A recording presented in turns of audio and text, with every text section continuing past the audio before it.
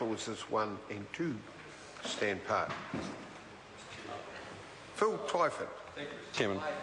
Um, I want to make some comments about the title clause, sir, sir, and I have three suggestions for the House to consider on alternative titles for this bill. The first, coined by my colleague Jacinda Ardern, is, is the trickle-down housing bill. And um, I want to say, sir, how unconvinced we are by um, the last-minute desperate uh, effort by the Minister to um, defend himself from accusations and pressure about the fact that this bill does not contain any real mechanism to deliver affordable housing. And um, by inserting at the last minute a provision that gives the government the power to issue by order in council uh, some requirements for a certain proportion of, of affordable housing units in a, um, a qualifying development gives us no confidence at all. And I want to, I want to tell the House why, uh, sir. The first is that um, to require a proportion of affordable housing units is what's known as inclusionary zoning, uh, Mr Chairman. This government, within a month of being elected after the 2008 election, repealed the inclusionary zoning provisions that um, uh, the former Labor government had passed.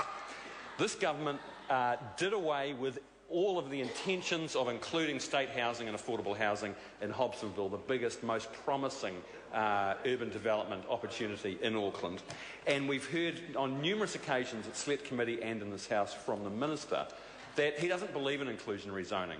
He doesn't believe it works. He doesn't believe it's a good thing. So, um, uh, giving the government the power to uh, require uh, inclusionary zoning uh, uh, by order in council uh, gives us no confidence at all, Sue, that it will actually happen for those reasons. The second title that um, we think is worthy of consideration is the Poor Quality Housing Bill. And I just want to point to um, some uh, aspects of, um, of the bill that do give cause for alarm. Um, uh, clauses 32 and 61, for example, um, uh, uh, have the effect of essentially taking the RMA out of consideration for uh, the consideration of, of, qualifying developments in special housing areas. And um, they strip the RMA out of the decision making process for special housing areas. And it's pretty clear, uh, Mr. Speaker, um, when you think about the, um, the reported comments of the Minister, where he told the New Zealand Herald on the 25th of May that Aucklanders need to get over their NIMBYism and accept lower quality developments if they want affordable housing.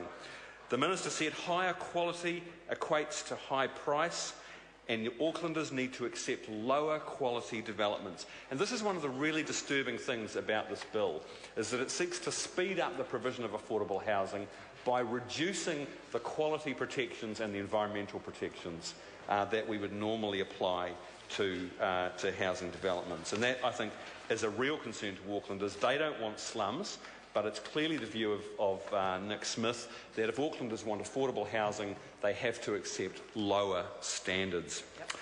The third title, sir, that I want to suggest that I think would be a much more suitable uh, title for this bill is the Throw the Baby Out with the Bathwater Housing Bill. There are three things that National wants to trade off in order to deliver uh, uh, uh, more housing development in Auckland. And the first is democracy, and we know from the override clauses in this bill that they are willing to, to take yet again more powers away from uh, local government. And the Human Rights Commission uh, expressed concern about this in its submission on the bill and talked about the sort of the constant centralising of powers and taking away from um, local government. The quality uh, protections and the environmental protections um, I've already mentioned, sir. And the last point I want to make is that um, this bill thoughtlessly undermines the protection that certain special areas like the Waitakere Ranges enjoy by dint of the Waitakere Ranges Heritage Area Act. And um, that act, uh, uh, until the passing of this bill, has enjoyed primacy over other district and regional plans that they, they are required, those other plans are required to be consistent with the provisions of the Waitakere Ranges Area, uh, Heritage Area Act. But unfortunately, um, what this bill does is that it dilutes those protections and uh, it only requires um, the provisions of the, um, of the Waitakere Ranges uh, Heritage Protection Area um, uh, to, um, uh, to be considered. They don't have to be consistent with those provisions, Mr Chairman. Thank you. Dr. Rajan Prasad. Thank you, Mr. Speaker. Uh, Mr. Chairman, it's a